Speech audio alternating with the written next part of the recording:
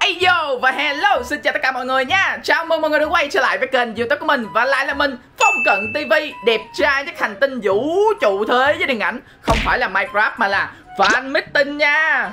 Ơi có muốn đi fan meeting không? Có chứ trời chờ lâu lắm rồi đó. Nếu còn nhớ thì cách đây 2 năm Hero Team bọn mình đã tổ chức một cái buổi fan meeting để dành tặng cho tất cả các bạn fan. Và cũng có rất là nhiều bạn nhắn tin hỏi cho mình là anh ơi tại sao lâu quá rồi chưa thấy Hero Team làm fan meeting vậy? Thì lần này lại tiếp tục là một fan meeting lần hai dành cho bạn fan yêu quý nè.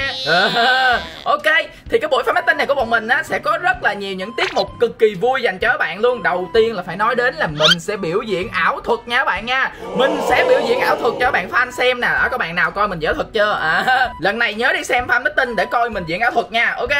Và tiếp theo nữa hình như là siro và kairon sẽ hát các bạn ạ. À. còn à, dịch nè với lại là mọi người trong team á hình như là sẽ cùng nhau tổ chức một cái vở kịch đó, hero team một mình sẽ diễn cùng với nhau một cái vở kịch cho các bạn fan xem. Ồ, nghe có vẻ vui đúng không? Từ trước giờ các bạn xem hero team một mình đóng phim nè, làm mv ca nhạc nè quay video game minecraft nè vlog nè. Chứ bạn có bao giờ xem một mình đóng kịch chưa? Đó lần này nhớ đến fan meeting để xem một mình đóng kịch nha. Ok sim với sammy thì sẽ là nhảy. À, hình như là sim với sam thì sẽ là nhảy.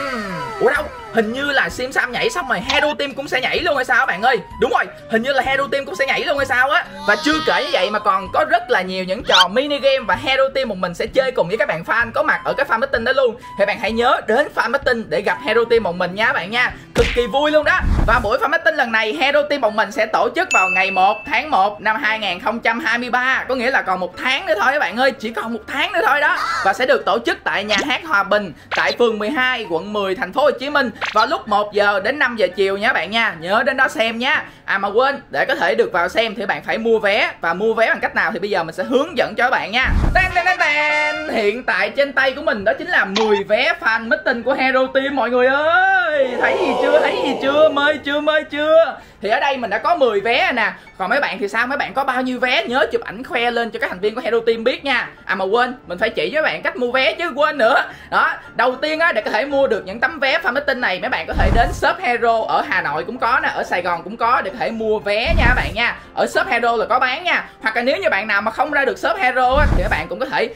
nhấn vào cái link ở bên dưới. Mình sẽ để cái link đó ở phần mô tả và bình luận. Các bạn bấm vào link đó để mua vé nha. Ok, tôi chờ mấy bạn đến fan meeting đó nha. Nhớ đến đó đó gặp tôi nha. Bye bye. Hẹn gặp lại nha.